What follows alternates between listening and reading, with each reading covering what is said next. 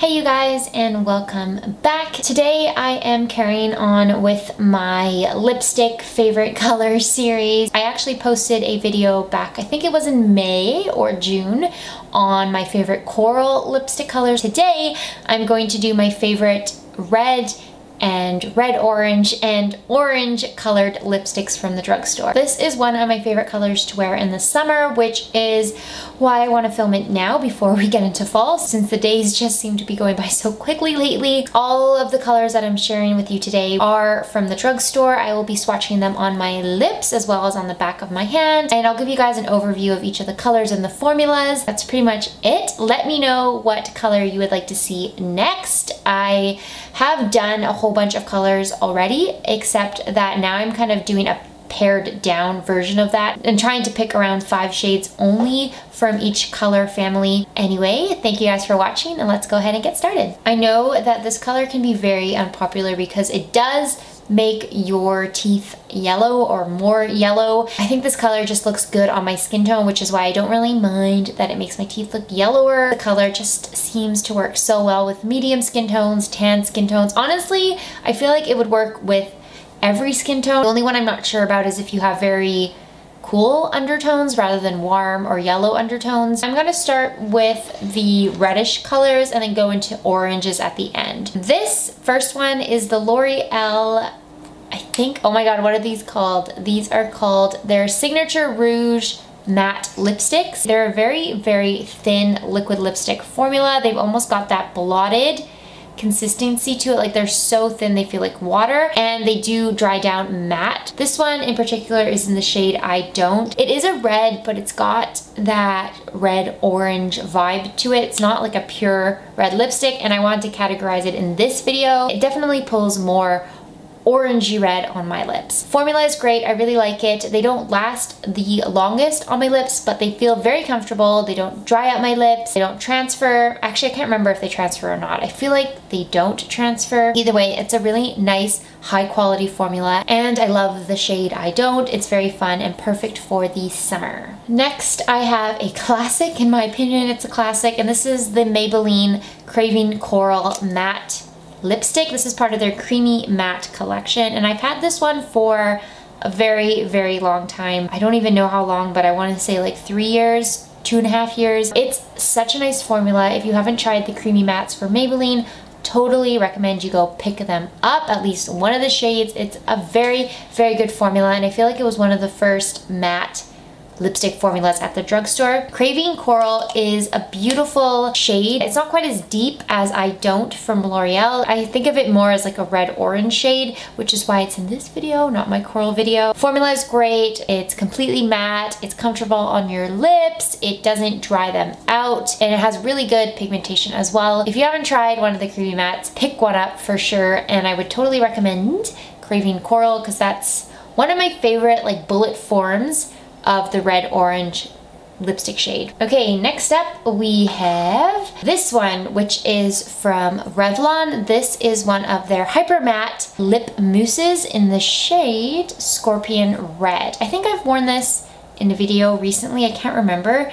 It's definitely intense. It's almost neon. Actually, I would I would say it is neon. It's not almost neon. It's like a neon orange red shade. It's beautiful. I love the shade so much. And I really like the formula of the Hyper Mattes as well. It's much better than their regular matte lipsticks that come in this packaging. It's way more matte, it's way more long wearing, and it just looks better on my lips for some reason. It does have that powder matte finish, so if you don't like that feeling of powderiness or if you don't like it looking a little dry on your lips, I wouldn't recommend this. But if you do, this is definitely a long wearing powder matte finish. It is intense and it is very red orange, but in the summertime, it's like the perfect fun nighttime summer shade. I love it. I think it looks beautiful with tan skin, with some gold or bronze eyeshadow. I really can't think of anything bad to say about these. The smell is probably the worst part. It's quite sweet, so if you don't like that sweet scent, you probably wouldn't like this, but other than the smell, the formula is great, and the color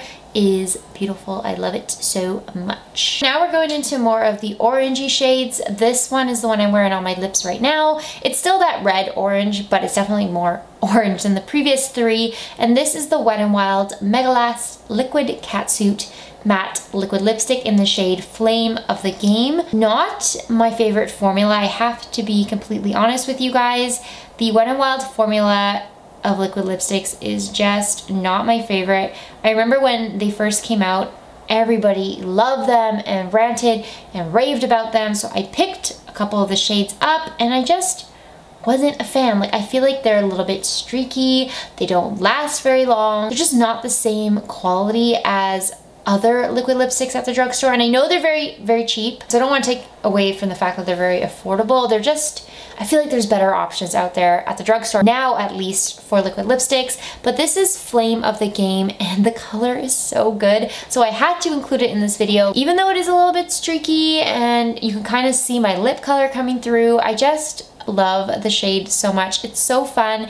It's so summery. I feel like this is one of those shades that isn't hard to wear. Like it's not that orange that people will kind of look at you funny if you're walking on the street. It's also not too red. It's just that perfect in between. It's a little bit muted, so that makes it more wearable. Like wearing it to work would be totally fine. In my case, I wouldn't feel uncomfortable throughout the day. Of course, the formula, like I mentioned, is not my favorite, but I kind of make do with the streakiness and the pigmentation because I love the shade. One good thing about it is that it's transfer proof. Like it's not gonna transfer on the back of your hand. So that's good. It's just the overall like streakiness of it that kind of makes me not reach for these lipsticks that much. But if you like that red orange lip look, definitely get Flame of the Game. You will not be disappointed. Okay, we are almost done. I feel like this went by actually surprisingly very fast. I just have two more shades. I tried to get this down to just five colors, but I ended up having to include six. This one is the Milani Color Statement lipstick in the shade Sweet Nectar, and this is definitely orange. This is such a fun color and such a fun formula as well. It's not matte, so it gives your lips that beautiful like juicy sheen, and the color is orange, so that makes it look even more juicy. Not for everyone. I know that a lot of people don't like orange lipsticks. For not being a matte lipstick, the Milani Color Statements are very long wearing. They feel comfortable on my lips. They have really, really good pigmentation. The only thing I don't like is the smell because it smells like candy. Always think of that bubblegum watermelon flavor. I hated that watermelon bubblegum. So the smell isn't great, but the color and the formula is awesome. So if you're an orange lipstick lover, this should definitely be in your collection. And last but not least is a newer addition, but an automatic favorite. And this is the NYX Powder Puff Lippy. This is their powder lip cream. It's kind of a strange formula and packaging. Not a fan of the actual packaging of this and this one is in the shade Crushing Hard. Despite the fact that I don't like the packaging, like it comes in this weird spongy tip and you have to squeeze it out and it's kind of hard to get the product to even come out in the first place. Despite that, I love the formula. It's such a nice powder finish. And you guys know, I think I've been talking about it for so long now, but I love powder mattes on my lips. And this one is like the ultimate powder matte. I kind of went crazy with the swatch, but this is it right here. Completely matte. It looks like a powder. It feels comfortable on your lips. It does not dry them out. It's kind of that muted orange shade that I just love so much. It's not hard to wear, it's not hard to pull off. The only thing I don't like about the formula is that it doesn't last super long. Like definitely bring this with in your purse if you're gonna be eating or wearing it for a very long time. Other than that, I love this lipstick. I love this shade. I wanna pick up more colors from this powder lip puff thingy. I feel like NYX has something really good going on here. All right, that sums up this video. I hope you guys enjoyed it. I hope you liked my picks and found this video helpful. If you like orange lipsticks, let me know. And if you have any suggestions for me to try from the drugstore, also leave a comment so that I can go check them out. Other than that, thank you guys so much for watching and I'm sorry for the lack of videos lately. I really, really am sorry, but I'm just trying to get through these two courses that I'm taking and then we'll be home free and I'll be able to post more and I'll have more time